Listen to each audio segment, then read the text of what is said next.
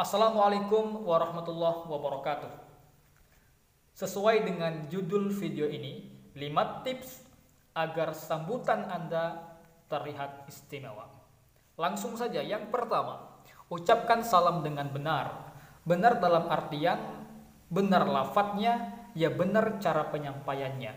Benar lafadz maksudnya ucapkan salam itu dengan fasih. Sering sekali kita melihat tokoh nasional bahkan mereka mengucapkan salam belepotan atau kecepatan, terburu-buru. Ini terlihat bahwa mereka berarti jarang mengucapkan salam, bahwa mereka berarti tidak terbiasa dengan bahasa Arab, bahwa mereka berarti tidak agamis. Maka kalau Anda sebagai seorang ketua ingin terlihat terhormat, apalagi dalam acara keagamaan, ucapkan salam dengan fasih. Assalamualaikum warahmatullahi wabarakatuh. Bagaimana cara belajarnya? Ya latihan. Latihan. Terus cara penyampaiannya teman-teman. Sering sekali orang salam ini pandangan matanya ke bawah. Padahal dia salam dengan audiens, dengan hadirin, dengan tamu undangan. Maka seharusnya dia mengucapkan salam pandangan mata kepada seluruh audiens, bukan ke bawah. Assalamualaikum warahmatullahi wabarakatuh. Assalamualaikum warahmatullahi wabarakatuh. Jadi pandangkan mata kepada audiens, kepada para hadirin, kepada tamu undangan, bukan ke bawah. Karena sering sekali seperti itu saya lihat. Terus tangan Anda, tangan teman-teman ini kalau sudah salam, sudah tidak usah lagi asik memainkan kabel, pura-pura pura-pura apa namanya benerin baju benerin jas segala macam. Jangan. Karena di situ teman-teman sudah mulai berbicara maka fokuslah dengan pembicaraan anda. Maka usahakan ketika teman-teman mau tampil semuanya sudah siap. Mikrofon pastikan siap. Jangan sampai ketika teman-teman mau salam mikrofonnya mati itu harus dipastikan bahwa mikrofon benar-benar hidup, semuanya siap, ready semua, baru teman-teman mengucapkan salam. Assalamualaikum warahmatullahi wabarakatuh. Jadi seperti itu, kira-kira seperti itu.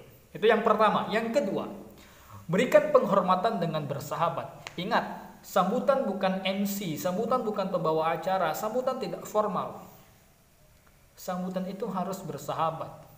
Ketika teman-teman ingin terlihat keren gitu ya, maka ketika teman-teman mengucapkan penghormatan, misal eh, yang terhormat Bapak Bupati Jombang, eh, gini gini, misalnya gini, yang kami hormati Bupati Kabupaten Jombang Bapak Idris misalnya namanya Bapak Idris ya misalnya. Yang kami hormati Bupati Jombang Bapak Idris. Yang kemarin kita tahu baru saja mendapatkan piagam penghargaan. Atau kemarin baru saja mendapatkan penghargaan dari Gubernur Jawa Timur. Beri tepuk tangan yang meriah untuk beliau. Jadi seperti itu teman-teman.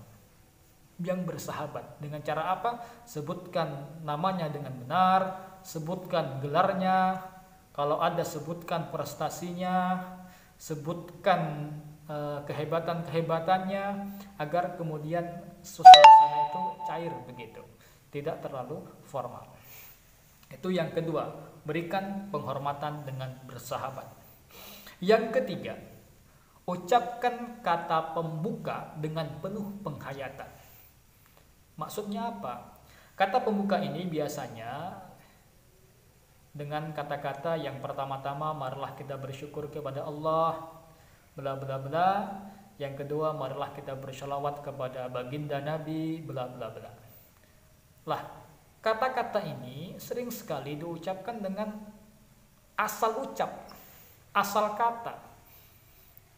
Padahal ini hal yang penting. Bersyukur kepada Allah bersolawat kepada Nabi itu hal yang penting sekali dalam sebuah pembicaraan maka ucapkan dengan penuh penghayatan agar teman-teman sebagai ketua terlihat orang yang religius, orang yang benar-benar menjalankan perintah agama, orang yang benar-benar e, meyakini bahwa acara yang sedang berjalan ini adalah naungan, adalah pemberian, adalah pertolongan dari Allah Subhanahu wa taala. Jadi misalnya ketika teman-teman mengucapkan kata pembuka, ucapkan dengan penuh penghayatan. Para hadirin yang berbahagia, yang pertama, marilah kita bersyukur kepada Allah Subhanahu wa taala karena tentunya acara pada hari ini tidak mungkin bisa berjalan. Tidak mungkin bisa terlaksana kalau tidak dengan pertolongan hidayah dari Allah Subhanahu wa taala. Maka oleh karenanya para hadirin yang berbahagia, marilah kita ucapkan alhamdulillah dan seterusnya. Jadi ucapkan dengan penuh penghayatan. Yang ke, yang keempat, sampaikan isi sambutan dengan jelas, padat dan tegas, ringkas, elegan sekalian. Kenapa saya katakan seperti itu? Sering sekali orang dalam menyampaikan kata sambutan ini bertele-tele, berpanjang lebar. Sehingga audiens atau pendengar ini merasa jenuh, merasa bosan. Karena mereka itu tidak ingin mendengarkan sambutan sebenarnya, tapi ingin mendengarkan pematerinya, ingin mendengarkan pembacar, pembicaranya, ingin mendengarkan penceramahnya. Maka kalau kita hanya sebagai sambutan, ucapkan dengan jelas, tegas, padat, ringkas, elegan. Jangan terlalu bertele-tele. Ya terima kasih, permohonan maaf, dan hal-hal penting lah dalam acara itu. Jangan terlalu panjang. Yang kelima, yang terakhir, berikanlah penutup dengan elegan. Maksudnya sering sekali teman-teman ketika orang menyampaikan kata sambutan, dia bingung mau nutup sambutannya. Jadi teman-teman harus pikirkan mana isi, mana penutup. Jangan kemudian ketika sudah di panggung bingung mau mengakhiri kata sambutan ini. Uh, ini terakhir ya yang akan saya sampaikan. Terus ngomong lagi, terus ngomong lagi. Ini mungkin yang terakhir yang akan saya sampaikan dan seterusnya. Terlihat rancu, terlihat kayak tidak tertata, maka saya sangat sarankan ketika teman-teman menyampaikan kata sambutan, ucapkan sambutan dengan elegan. Mungkin kiranya para hadirin cukup sekian yang bisa saya sampaikan. Terima kasih atas segala perhatian dan mohon maaf atas segala kekurangan. Wallahul muwaffiq ila aqwamit Wassalamualaikum warahmatullahi wabarakatuh. Jadi jelas dan elegan seperti itu. Jadi itu teman-teman 5 tips bagaimana cara menyampaikan kata sambutan. Tentu ini hanyalah gambaran umum, tidak semuanya saya bahas.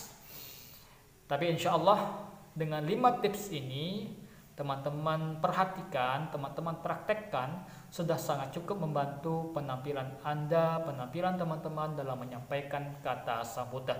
Cukup sekian, terima kasih, semoga bermanfaat. Wassalamualaikum warahmatullahi